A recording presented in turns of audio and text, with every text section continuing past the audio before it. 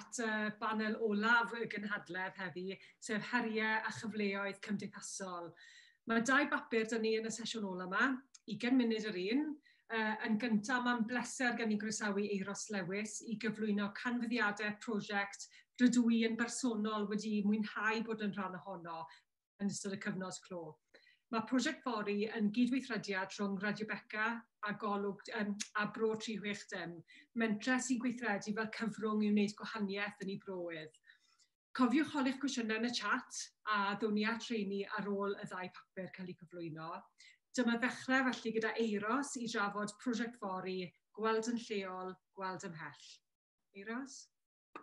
Diolch Lindsay a diolch am y cyflwyniad. Ni'n byw mewn dau fyd yn dyn ni. Um, Mae'r byd gwasanaeth a'r meritocratiaeth a hierarchiaeth ar y naill law lles corfforaethol a wedyn mae'r mae byd y cyd ar y llaw arall, byd y cydweithio, yr uh, e, cydlawenhau, y cydymdeimlo, y cyd gwmpo mas hefyd sydd yn elfen holl bwysig yn y broses na, y lles cymdeithasol yw hwnna, neu'r lle yna o gymdeithas, ble bynnag mae hwnna un, un ddeiryddiaeth, ond mae yna ddau feddylfryd eitha gwahanol. Un o'r prif wan, waniaethau yw'r gair rhannu, yw'r defnydd ar y gair rhannu. Yn, yr, um, yn y lle corfforaethol yna, mae rhannu yn golygu gosod ar wahân.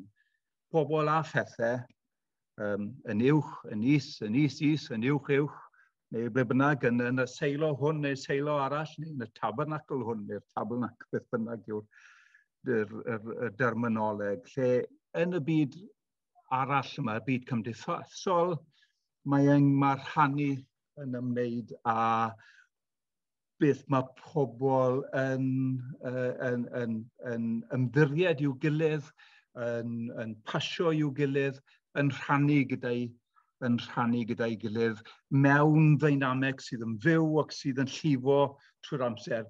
Pensefniaeth yw'r nall, naill, yn tyfe. Rwle sydd yn llonydd ac sydd ynglyn â stit, stasis a statws a status quo a, a cynnal o rhywbeth sydd yn sefydlog, sefydliad. Rhywbeth sydd yn llifo a symud ac sydd yn creu problem i'r bywrocratwyr yw'r lle arall, y lle byw yma yr ecoleg mewn gwirionedd. Dyna beth yw e. Dyna beth yw e. Ond yn Gwanwyn 2020, wrth gwrs, mae yna stop yn dod. Mae yna stop yn dod ar y naill byd a'r llall. Mae yna stop ar bob beth heblaw un peth, a'r peth na yw cwestiynu. Mae pawb ym mhob man yn cwestiynu. Mae pob un yn ei hunan, yn pa fath o pa fath o fywyd wy'n byw, pa fath o fywyd wy wedi bod yn byw, pa, pa fath o le wy'n byw, pa fath o fyd yw hwn. Mae'r holl gwestiynau yna yn pyntaru, mae'r rhan fwyaf cwestiynau ar wahan. A dyma lle, dyma man cychwyn y prosiect fori, lle i ni'n dod mewn i'r cwestiwn. A dyma ni'n, a bo fi'n, dwi'n iawn i, i rhannu sgrin, um, Lindsay? Um, uh, yn dwi dwi dwi dwi dwi dwi dwi wedi mynd fyna.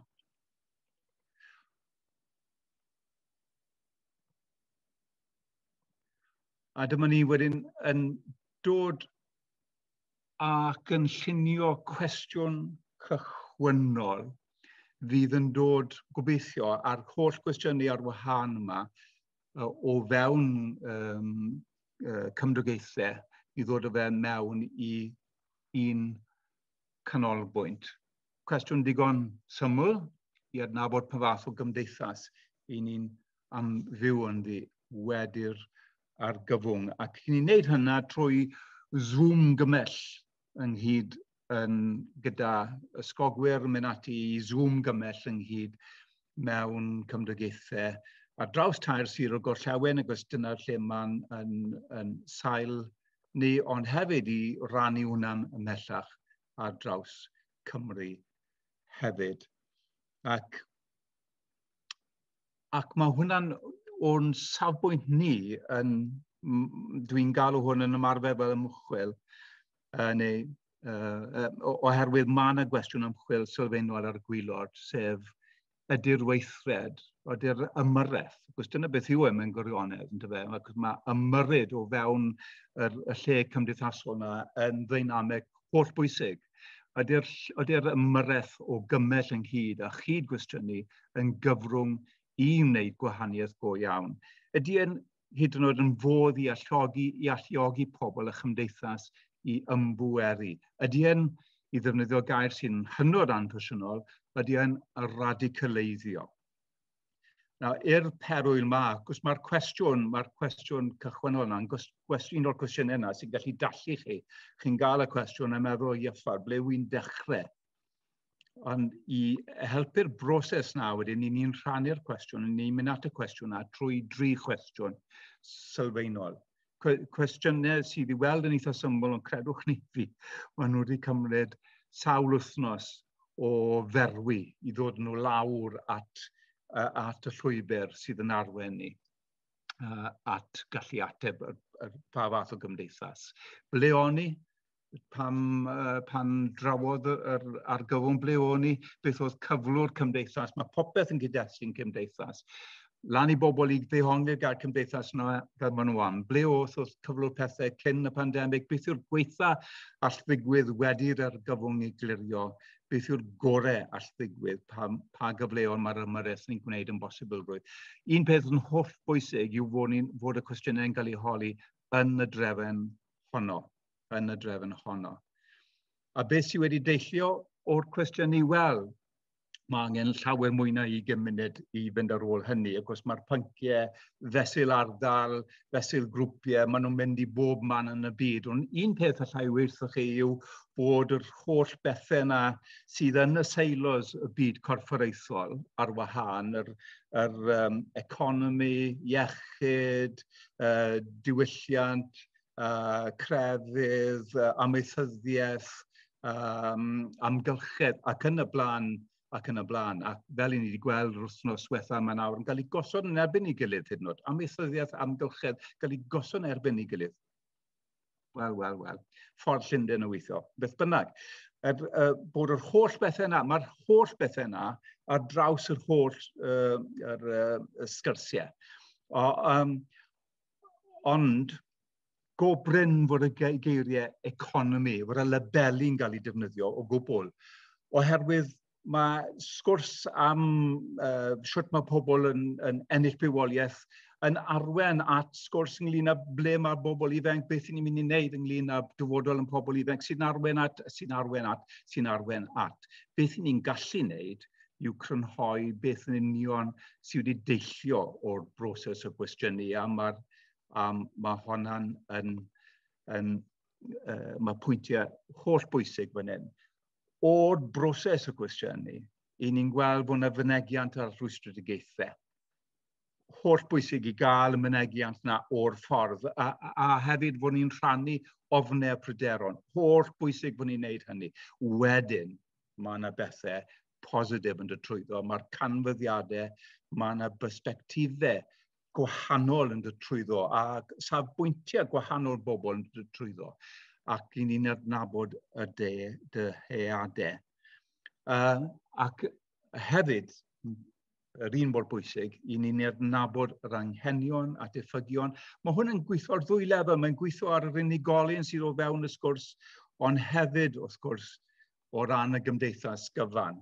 Yr anghenion, y diffygion y gymdeithas, pethau sydd angen, ond dyn nhw ddim na er, ond yn bwysicach i wedi gwir yw'r adnoddau, mae yna adnabyddiaeth ar adnoddau, beth yw'r cryfderau, beth yw'r pethau sydd gyda ni allwn ni adeiladu arnynt, beth, beth sydd yn bwysig, beth yw'n blaenoriaethau ni, ac mae yna syniadau yn dechrau llifo beth sydd angen ei newid, siwrt allwn ni newid pethau, beth yw'r poten beth yw potensial sydd yn arwen at ddau sylweddoliad sylfaenol sydd i weld ar draws yr holl sgyrsiau tres trwy broses yma o gyd-drafod. A sylweddoliad o'r newydd neu, neu yn, yn cadarnhau naill neu llall o bwysigrwydd y lle lleol. Ond fan hyn gyda'r ail un, yn aml iawn am y tro cyntaf, mae yna sylweddoliad o beth sydd yn bosib ganddo ni yn hunain yn lleol yn ein cymdeithas. Ni jyst roi drwy enghraifft i chi. O, hen, o hynny, yn sydyn, un yw'r, wel, mae Lindsay wedi, wedi cyfeirio yn, yn gryptic ato fe'n barod, sef o, o ran y sgwrs oedd hi ynddo, ond mae'r mae un peth wedi digwydd, mewn nifer o, o um, sefyllfaoedd uh, sgyrsiau eraill hefyd, yn y sgyrsiau Zoom, 30, dros 30 ohonyn nhw'n bellach, tair sir o gorllewin, rhai yn cymoedd y de, rhagor yn y gogledd yng Ngwynedd ac um, Môn. Um, a sef, mae'r peth cyngor bro mae'n codi'n aml iawn. Beth yw'r cyngor bro? Um, uh, be, be, os rwy'n yn gwybod beth sy'n digwydd na, Oedden nhw'n gwneud yn rhywbeth mwy na siarad a rhyw dieddiad i cychwynnol beth bynnag o, wel, oce, okay, uh, anwybodaeth, ond hefyd i rhyw deimlo fod na dim byd maen nhw'n gallu wneud. Mae yna anallu. Mae lle o anallu yw cyngor bro.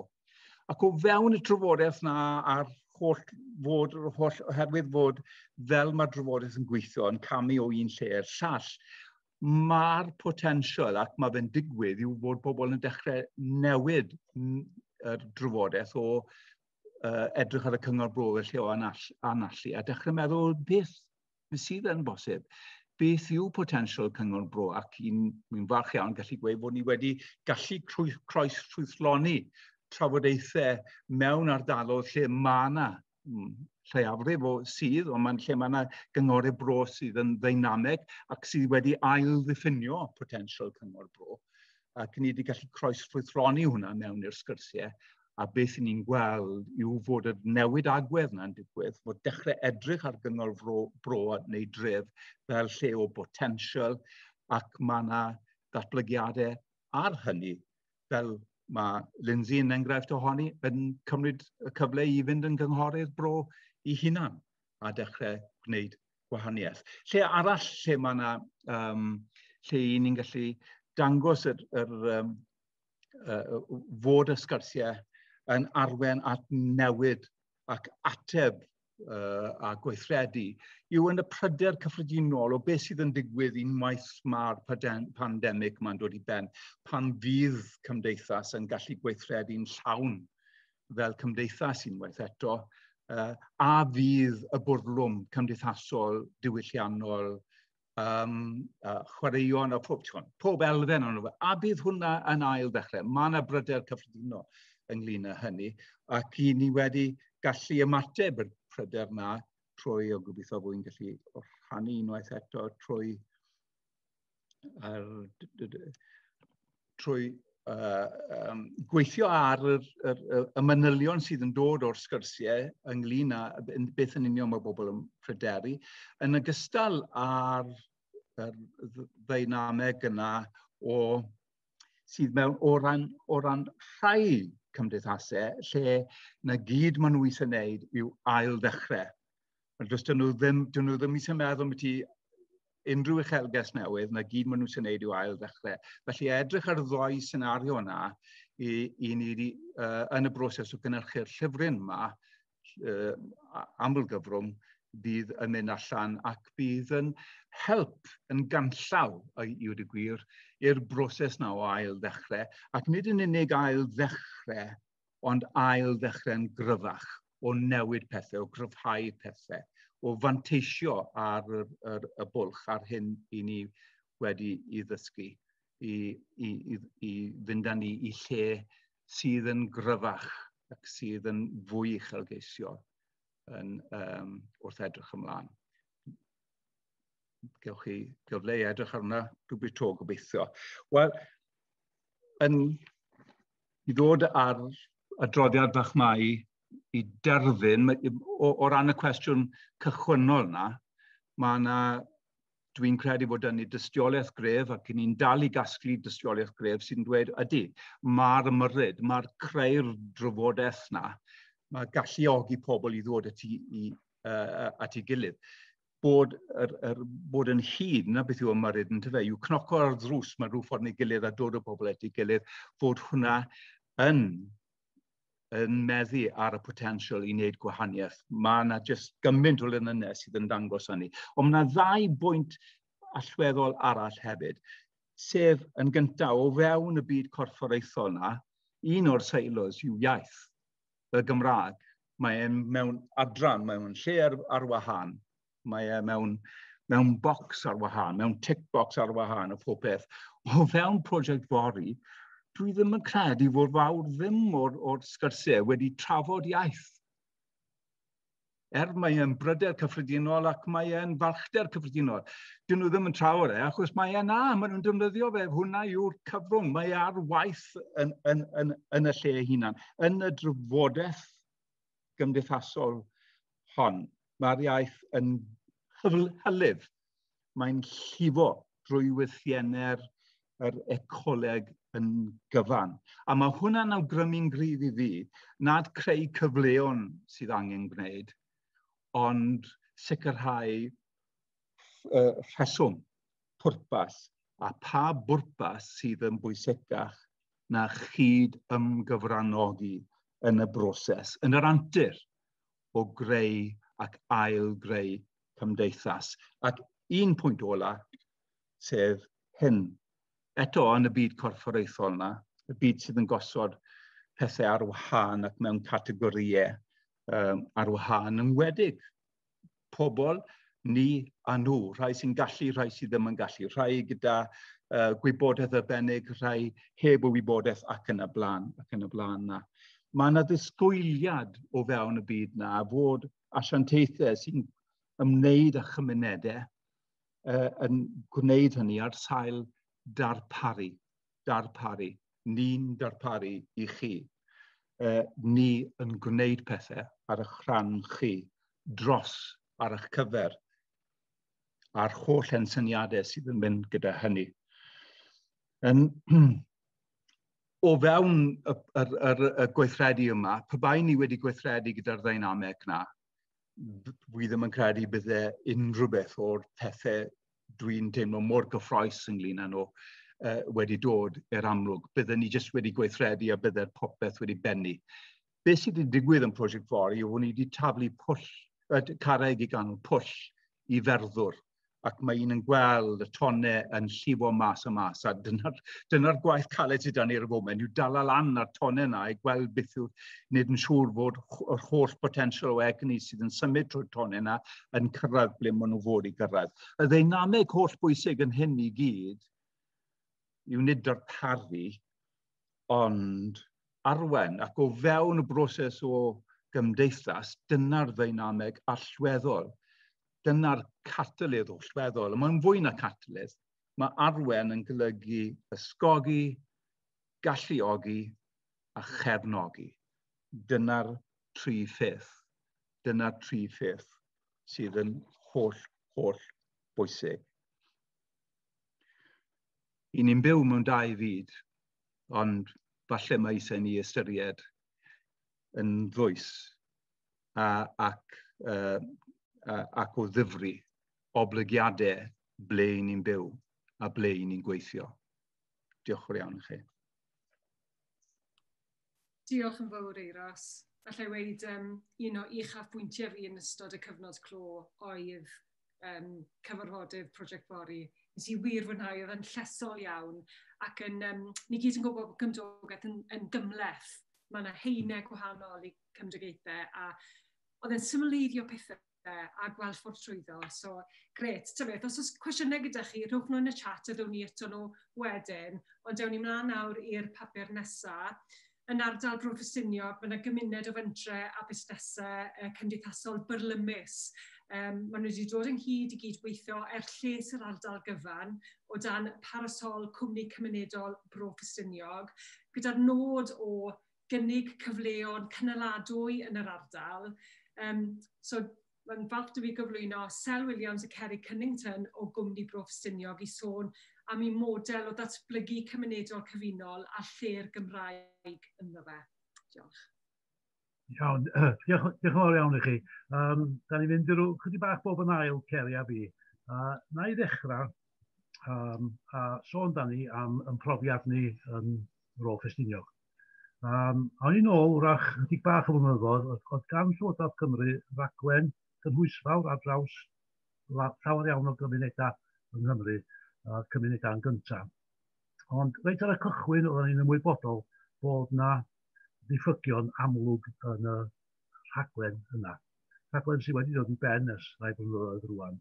Na'i'n sôn am y diffygion i gyd, ond un ohonyn nhw yn weddol amlwg oedd nad oedd y Gymraeg ddim yn rhan o gwbl o, holl syniadau cymunedau yn gyntaf.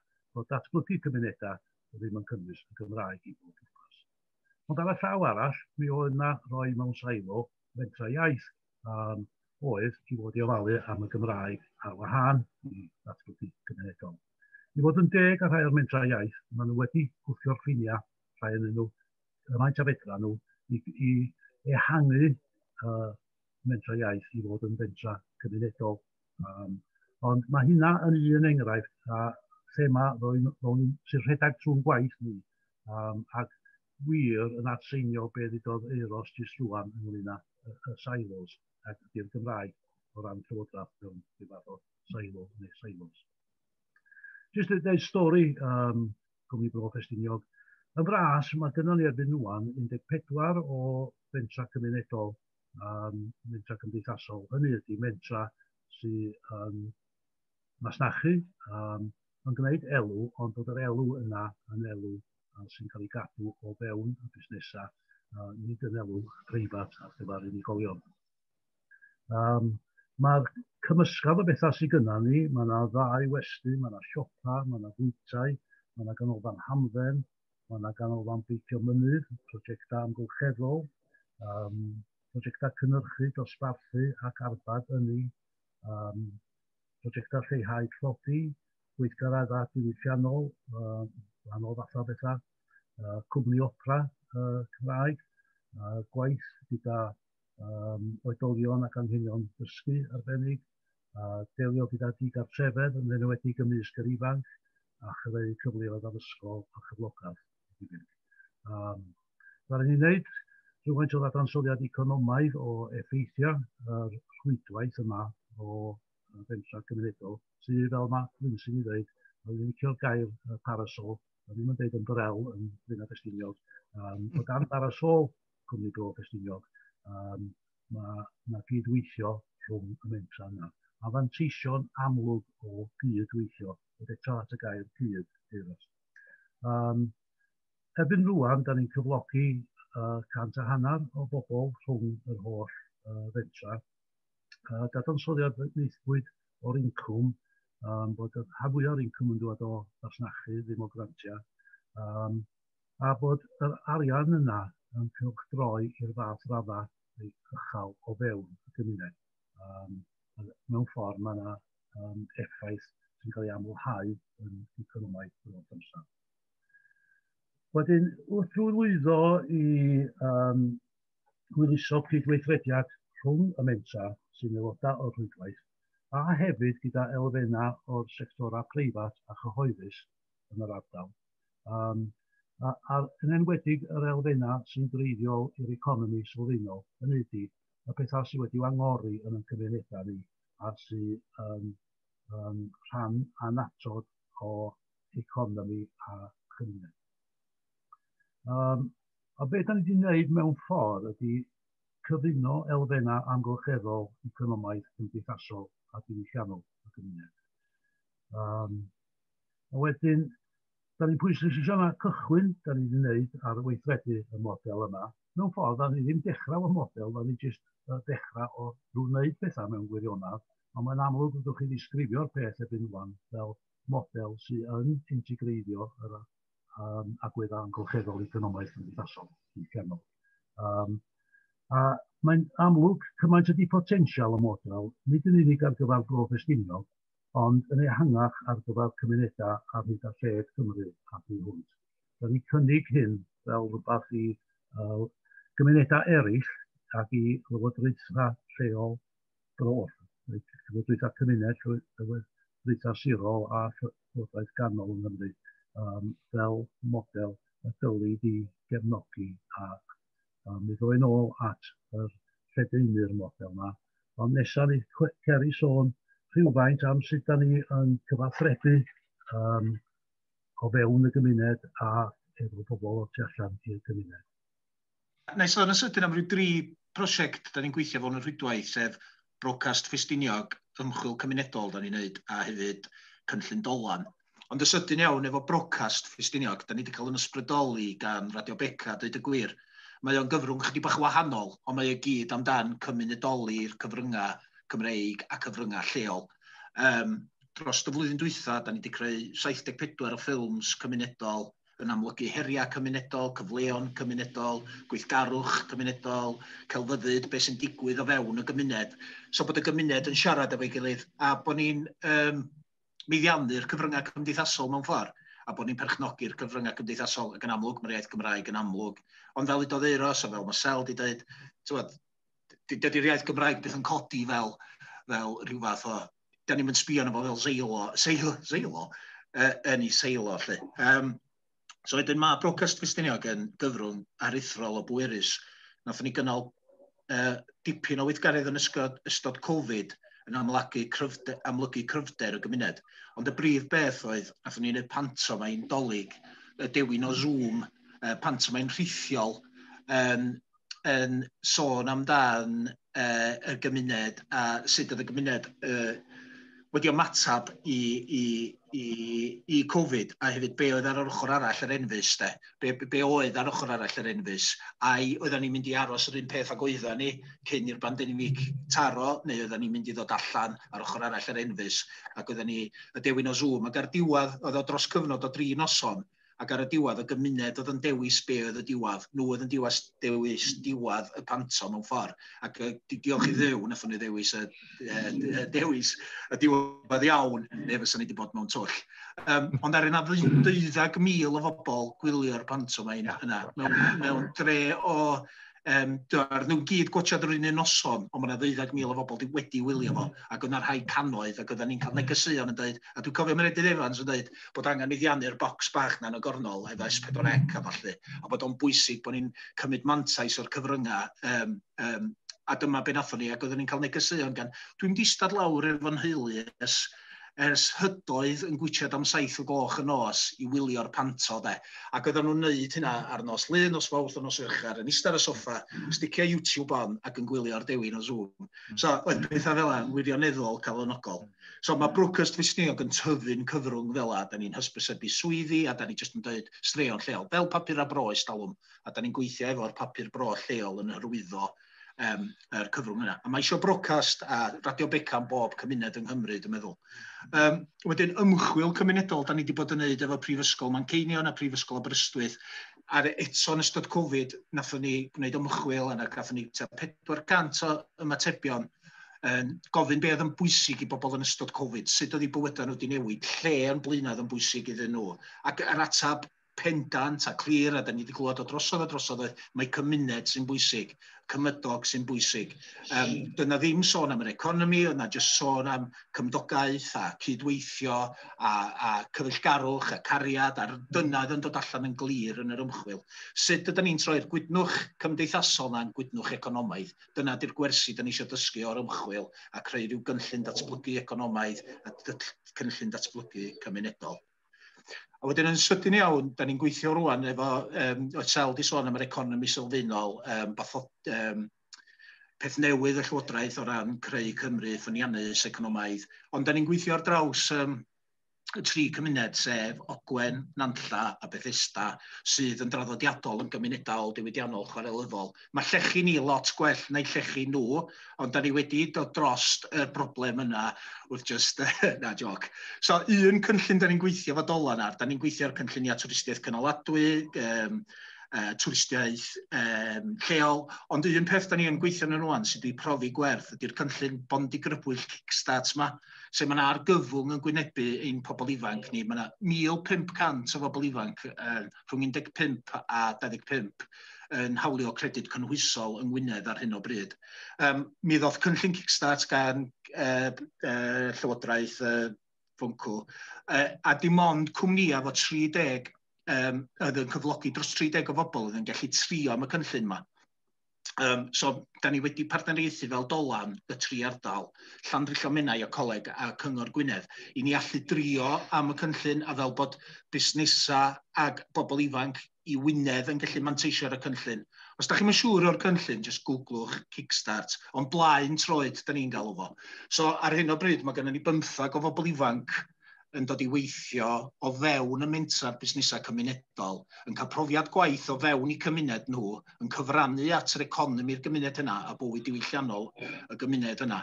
Fydda ni'n rhedeg cyrsiau hefo nhw mewn datblygu cymunedol a falle. So fydda nhw ddim yn mynd i...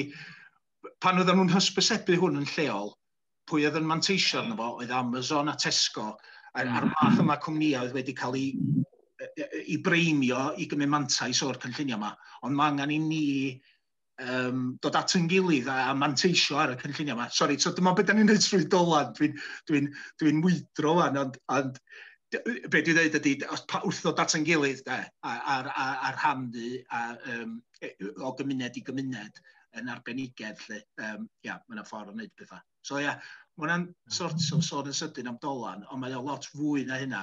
Um, Ac oedd Euros yn sôn am y cynghora tre a cynghora cymuned. Mae yna waith anhygoel yn mynd ymlaen yn ogwen yn fanna o, o, o sut i, i, i gael cyngor cymuned i, gyd, i fod yn fwy weithredol o fewn cymuned a datblygu cymuned. Ia, yeah, sorry Sel, dwi wedi mwydro yn Rex fyna. So, ia, so just yn sydyn iawn. Ia, yeah, dyna, dyna be da ni'n kind yn neud. Oce. Okay. Um, da, yn sôn mewn ffordd rhyw fath o fodel sydd gyda ni o uh, ddatblygu cymunedol sydd wedi rhyw fath o esblygu yn yn ardal ni. A da ni'n meddwl bod yn olodau bwysig bod hwnna yn rhywbeth sydd yn lledeunu. Um, Mae'n gan mlynedd ers gen i um, Raymond Williams Lenny. Um, a da ni'n cael hyd i rhywbeth sgwennol o'n 1984 a mi ddarllen o'n y greiddiol. Ideally, a new movement comes out of new ideas being specified in particular places – then there may be a model being expressed which, which is adaptable to the interests of other places and scales of operation. It is perfectly clear that ideas have to federate. A dyna mewn ffordd ydy'r rhan ola o beth ni'n drio dweud. Mae um, Ceri eisiau wedi sôn am dolan, sef cydweithrediad rhwng uh, dyffrynoedd Ogwen, Nantlle a uh, Festiniog. Um, oherwydd be o'n i wedi bod yn wneud uh, fel fath o fodel uh, a profiad ohono fo yn rôl ffestiniog, oedd na chydig o bobl yn Sir Fôn a diddordeb wrth nhw draw, a rwan maen nhw wedi sefydlu bro môn, um, a'r patrwm fath yn debyg, um, yn amlwg mae ma rhywun yn addasu i wahanol lefydd, ond mae nhw saith o fentra cymunedol gyda at ei gilydd um, fel uh, grŵp yn gweithio ar y cyd yn môn. Um, Mae'n loes gyda fi, um, ddari cwmni iaith, um, drefnu hwyluso cyfarfod rhai blynyddoedd yn ôl yn dwad a mentra cymunedol yn gweithio drwy gyfrwng Gymraeg at ei gilydd ar draws uh, hana helad o Gymru. Um, ac oedden ni wedi cybeithio y fasa cynllun arfor y Llywodraeth oedd uh, cynllun ar gyfer gyda pedwar sir y gorllewin at ei gilydd. Mae'n dris dweud bod y cymhora, cymune, uh, cymhora sir, sir yn ei uh, seilos uh, wedi bachu'r pres i gyd i'r seilos unigol a fawr ddim strategaeth i gydweithio ar draws y pedwar sir. Um, ond da ni'n mynd i'r gorau di, na ni ddal i ddrwydro i ffeindio rhyw ffordd o gael y, y cydweithrediad yna ar draws y, y gorllewin. Um, ond beth da ni yn wneud ar hyn o bryd ydy ymgynghori ar sefydlu uh, mudiad cymunedol Cymru.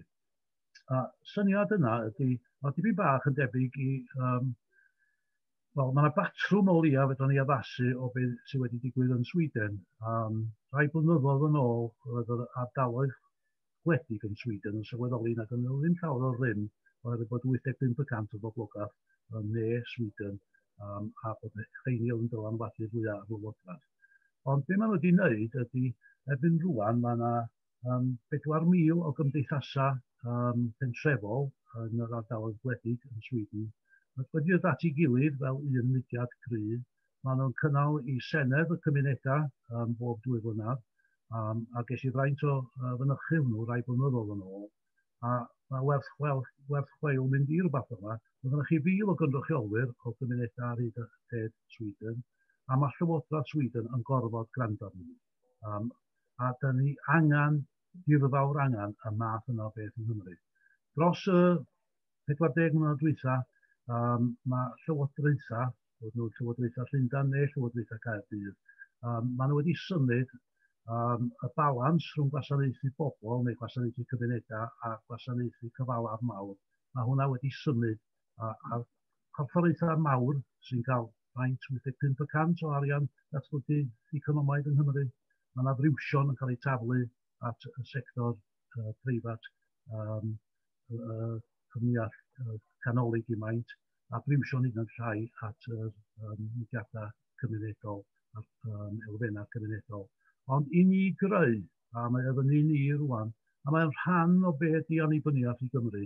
Dio ddim yn rhywbeth ynglyn â senedd gwahanol o Gymru. Mae o'n ynglyn â rhywbeth sy'n gorfod digwydd ar lawr gwlad, a da ni'n creu y Cymru newydd yna o'r gwylod i fyny. A wedyn, mae creu mudiad cymunedol i Gymru fydd yn rhoi llais i gymunedau um, dylanwadu ar lywodraeth ganol a lleol, ond hefyd i gymunedau helpu i gilydd.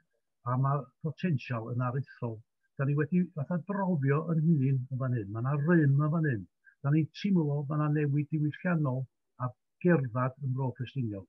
Mae pobl yn symud o fod o'r meddylfryd dibyniaeth i'r meddylfryd, ddim annibyniad y cweit, ond y meddylfryd da ni'n neud pethau dros da ni'n hunain. Um, dim ots am lywodraeth, dim ots am y sector preifat. Ydych chi wedi troi'ch cefna na ni beth bynnag, um, nawn ni wneud gyda, os da ni'n hynny. Ond, da ni angen llywodraeth, llywodraeth cymunedol, uh, neu llywodraeth dro uh, sirol a cheredlaethol i fod yn gwasanaethu yn cymunedau ni. A'r unig ffordd nhw'n wneud, os oes yna bwar yn ei gorfodi nhw i wneud, bwar wedi dechrau cystadlu efo pŵar aruthrol a corfforaethol mawr sydd wedi prynu yn llywodraethau ni cyhyd. Felly, fanna da ni, um, o ran y Gymraeg, fel o'n i'n sôn, da ni'n sôn am y Gymraeg, da ni jyst yn gweithredu yn y Gymraeg. Da ni, um, ond mae gweithredu hefyd yn y Saesneg, lle mae angen gwneud hynny. Y flaenoriaeth wedi gweithredu yn gymunedol, a felly da ni yn ennill pobl at y Gymraeg. Um, Dydw i ddim yn siŵr o yr holl feddylfryd o fewn Gymraeg mewn seilwr. Um, mae barch mawr i menter iaith Conwy, ond dwi ddim yn gwybod be ydy effaith menter iaith Conwy yn Llandrws. Um, ydy o yn rhannu gymdeithas, a ydy o mewn gwirionedd yn gyda gymdeithas at ei gilydd.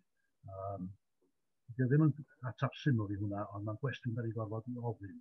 Uh, be da ni angen ydy y Gymraeg fel rhan annatod o ddatblygu cymunedol yn y gyfanwyr. A dod yn ôl at Raymond Williams i orffan, um, mewn ffordd, mae o ail ddiffinio culture yn Saesneg, dod o yn nes ar beth da ni'n ddefnyddio fel uh, diwylliant yn Gymraeg. Um, a mae yna gyfanrwydd yn y syniad yna o diwylliant. Um, ia, yeah, fanna da ni. Um, diolch yn fawr iawn i chi. Diolch yn fawr iawn i chi sylwyn ac i, i Ceri am y, am y cyflwyniad yna. Mae yn, um, yeah, mae, mae thema cyson yn nosau bod, um, bod pa mor bwysig yw'r lleol yna a bottom-up fel maen nhw'n gweud, chymod. A fel na ddeir os hwn, nes i ar ôl i fi gymryd rhan yn prosiect fori, nes i, um, nes i wneud cais i fod yn, ar cyngor cymuned Llandysel, a um, un o'r pethau wedi dysgu yw, wel, maen nhw'n gallu mynd o gyfarfod i gyfarfod yn, yn trafod yr un agenda yn gweud bod y golau wedi torri lawr y ffordd a bod angen llanw twll yn yr hewl. A fi'n meddwl bod yna fwy falle gallu wneud yn y cynghorau bro a'r cynghorau tre yna. Beth yw'ch barn chi o ran ei ymwneud nhw gyda'r gyda gymdeithas a gyda bywiogi a chymod, o'n i ddim yn teimlo fel bod fi'n rhan o'r gymuned fan hyn, tan bod fi'n sylwi bod angen i fi wneud rhywbeth yn y gymuned i deimlo'n rhan ohono fe. Mm. Ydych chi'n teimlo fel bod, y, bod fwy o rôl gyda cyngor y cymuned a bod nhw wirioneddol ddim yn gwneud beth dylen nhw fod yn gwneud ar hyn o bryd? Yeah. Ti eisiau sôn, Ceri, am traws newid ac am partneriaeth ogwen, ia? Ie, yeah. uh, neu jyst sôn y sydyn am bartneriaeth ogwen, yn siarad dros nhw, be maen nhw wedi wneud ydy dod â tri cyngor cymuned at ei gilydd, dwi'n meddwl, a wedyn wedi cyflogi gweithiwr datblygu cymuned yn Meleri Davies wedyn, a wedyn maen nhw wedi, a wedyn maen nhw wedi, wel, maen nhw wedi tyfu, wel, maen nhw'n datblygu prosiectau cymunedol, ond hefyd maen nhw'n uh, cyflogi'n lleol a, ia, um, o ran traws, so dwi'n gwybod llawer amdanyn nhw, ond dwi jyst yn gwybod da ni wedi trio datblygu model tebyg yn brof, brof Estiniog. Um, a wedyn, da ni wedi dod â saith dim ni, ond mae yna saith cyngor uh, plwy a cymuned wedi dod at ei gilydd i greu ynni cymunedol trwrog i edrych ar ddatblygiadau ynni cyneladwy yn yr ardal. Um, oes, mae yna rôl mawr i chwarae, mae, wneud, mae, mae cynghorau plwy a tren yn gwaith aruthrol beth bynnag ac yn, ac, yn, ac yn styc yn y biwrocratiaeth yma, ond dwi'n meddwl bod na le gydweithio. Da ni'n sgwotio uwch ben yr hen gyngor tre yn uh, Blaen o Ffestiniog ar hyn o bryd. Na, joc yna, dwi'n meddwl bod iaith yn... Um, ond da ni'n trio wneud Dwi'n meddwl bod wrth gydweithio, mae ma neud o, dwi'n meddwl, um, yn hytrach na disgwyl i'r cyngor a plwy a tre neud o. Sgynna digon o wybodaeth am cyngor tre a plwy i neud o. Dwi'n just gwybod bod o'n model wirioneddol wych yn ogwen. A os oes oes unrhyw cyngor plwy neu tre yn edrych i ddatblygu, neu cyngor cymuned yn edrych i ddatblygu rhywbeth, ogwen ydy'r lle i sbio, swn i'n ddweud, am ysbrydoliaeth. Eiros. Cam nesaf o fewn y broses na, un o'r tonau sydd yn dod mas o'r sgwrs fel beth sydd wedi digwydd gyda chi yn Llandysil o'r sgwrs na yn Llandysil ac yn cysylltu gyda y, y sgwrs yn, uh, yn y gogledd lle oedd um, tystiolaeth um, ffurfio partneriaeth ogwen a o'n i wedi gallu croes rwythroni hwnna.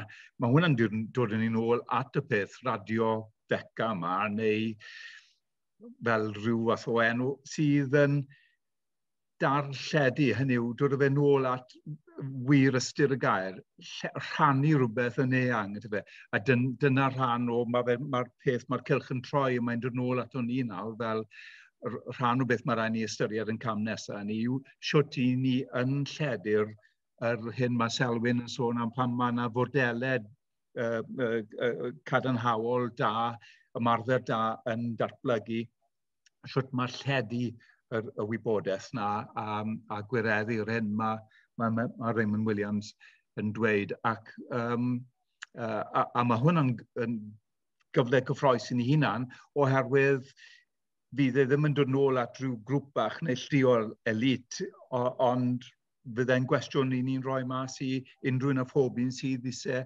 ymateb i hwnna a dod lan â gwahanol syniadau. Gwrs, dwi ddim yn credu mae un ateb i we, ond mae ma fe'n yn symptomatig o'r berthynas greadigol yma o'r sydd yn, sydd yn bosib lle i ni'n edrych ar gyfryngau, nid fel pen draw, ond fel rhywbeth sydd yn neud i pethau i ddigwydd ac, ac, i, um, ac i ddatblygu a gwella pethau.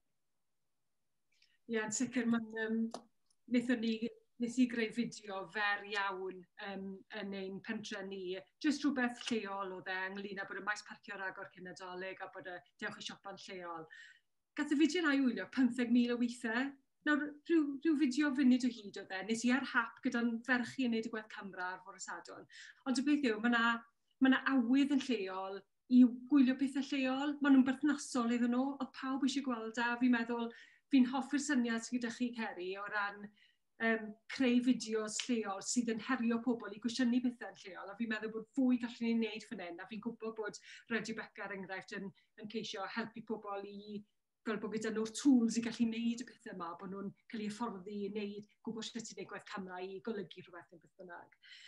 So, wel, fi'n meddwl mae un o'r pethau fwy o pwysig siwr o fod yw bod bod, bod y sgwrs yn digwydd, bod y wedi digwydd, a bod y parhau i ddigwydd, a bod a bod ni gyd yn dod ynghyd i drafod, a fi'n meddwl dyna, dyna pryd, hwnna yw'r sbardyn, dwe. dyna pryd mae pethau'n digwydd, a dyna pryd i ni'n teimlo ac yn cysylltu gyda pobl, a ni'n gallu symud mlaen, a bod, bod ffrwyth wedyn yn dod o'r, or trafod, trafodaethau hynna, ynddo fe. So fi ddim yn meddwl bod unrhyw gwestiynau yn y chat. Um, fi'n gweld Lowri dweud bod na, um, bod na ddrafft newydd sbon o'r canllaw dod ynghyd gan Eiros. Um, Os ydych chi eisiau hwn, mae croeso i chi cysylltu mae um, e-bost Lowry Jones fyna.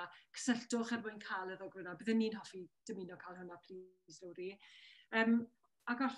O, oh, Gwenno. Ti'n ma'n gweud rhywbeth? O, ti, mae Gwenno eisiau hef... eisiau ddogfen hefyd.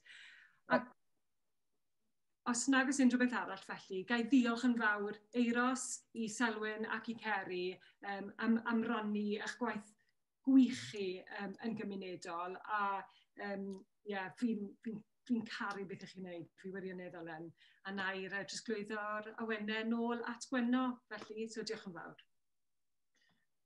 Diolch yn fawr iawn i ti, Lindsay, a hefyd i Eiros a Ceri am, y, am yr cyflwyniadau drwytho yna. Yng ngwaith i nawr yw tynnu'r gynhadledd yma i, i ben, os allwch chi. Um, wedi trio tynnu rhyw sylwadau ynghyd maddeiwch i fi os yn nhw blith drofflith, ond um, mae heddi wedi bod yn ddwrnod sydd wedi'n nghalanogi un fawr. Mae wedi sbardino cryn dipyn o feddwl ar yn rhan ni. Um, mae fe wedi amlygu'r heriau yn sicr. A ni wedi clywed bod sefydliadau gwahanol eisoes yn ymchwilion yn gweithredu i ganfod y tebion, a mae hynna'n newyddion da. Um, ond mae'n gwestiwn i mi mewn ffordd, a yw'r canol llonydd na gyda ni fedru casglu'r arferion da y camau gweithredu mae bobl yn rhoi ar, ar waith um, neu ni mabwysiadu er mwyn i ni yn galluogi ni gyd i rannu o hynny.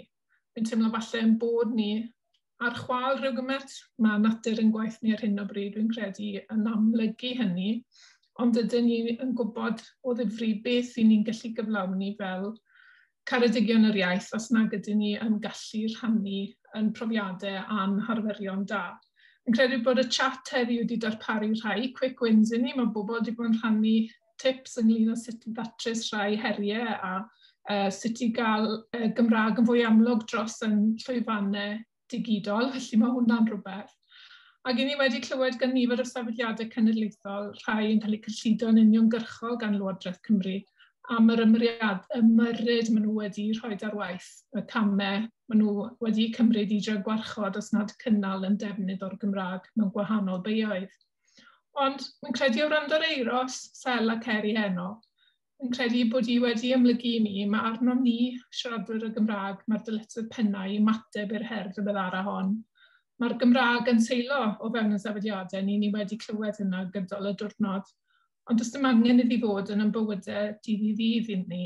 A mae'n crebeir os wedi'ch risialu hi, mae'n rôl ni, mae'n nod ni ddyle fod i ysgogi, galluogi a chefnogi yn Cyd Gymru a rheina sy'n dewis dod ato ni i Gymru i ddefnyddio eu Cymraeg. Felly, dwi'n diolch o welodd calon i'n siaradwyr ni gyd heddi, Yn diolch yn caderyddion ni a yng nghydweithwyr i am y cymorth yn trefnu'r gynadledd heddi mae diolch aruthrol i wneud i'r cyfieithwyr. Mae'r amserlen wedi bod yn llawn dop. Pryn i chi wedi cael cyfle yn baned, wel, smo nhw wedi cael cyfle i dynnu gwynt. Felly dwi'n ddiolchgar ti hwnt i Osian, Nia a Catrin o gwmni Nico am ei gwasanaeth proffesiynol arferol, ond hefyd am ei cefnogaeth hynnaws yn ystod y gwaith trefnu. Ond falle mae'n diolch penna ni yn mynd i chi gynulleidfa am eich cefnogaeth chi'r gynhadledd heddi Um, a hefyd, fi'n gwybod bod chi ma am eich bod chi yn bwrw iddi gyda brwdfrydedd sylweddol i warchod y Gymraeg ar lawr glad. A i sicrhau yn bod ni'n gallu ymateb i'r her ddiweddara yma. Felly mae'n niolch personol i chi am hynny. Mae recordiadau i ddod maes o law o'r sesiynau sydd wedi bod heddi, achos fel wedi sydd yn ddwrnod hir ac o ddisgwyl i bawb fo ma o fore gwynt a nos o gofyn gormod. Felly, ni yn ei recordio nhw, fe newn ni rhannu nhw, a hefyd fe byddwn ni'n rhannu adroddiad fydd yn tynnu'n hir rhai o'r themau a'r canfyddiadau ni wedi clywed heddi. Felly, fi'n credu falle mae'n ddigon hawdd ei ni roed yn pennau yn plu wrth i ni stwnan o gwmpas mewn peder walan yn cartrefi. Ond ar y cyfan, ar ôl um, y sgyrsiau sydd wedi bod heddi, mae'r glorian o'n rhannu yn cwmpo'n bennau gyfeiriad gobeith ar ran y Gymraeg o teitl y gynadledd yn gofyn nawr Covid-19 yn cynnig gofyd i ni am fwy na gobeith. Dwi'n teimlo bod yna wbeth i ni, a dwi'n gobeithio os nag ydych chi'n rhannu'r farn honno bod yna ysbrydoliaeth i chi wedi bod heddi o'r trafodaethau sy i ddalatu ac i frwydro dros y Gymraeg. Felly diolch yn fawr iawn i chi am eich cefnogaeth heddi yn os da.